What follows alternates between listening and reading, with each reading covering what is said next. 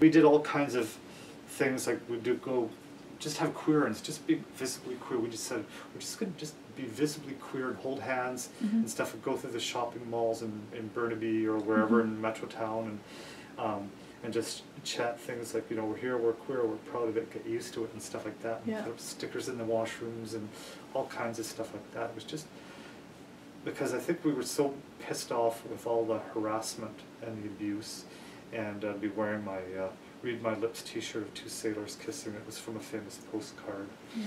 um, of two guys in sailor uniforms, and it was only from the waist up was the on the T-shirt, but the waist down in the picture I actually saw they didn't have pants on. So, but it was it was it was a really it was a really sweet T-shirt, and uh, so I'd be wearing that. I'd uh, you know I'd wear it on my days off Yeah.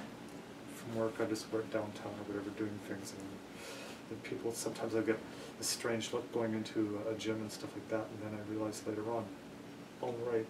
I'm wearing a that t-shirt. So that's where the, the odd look is from.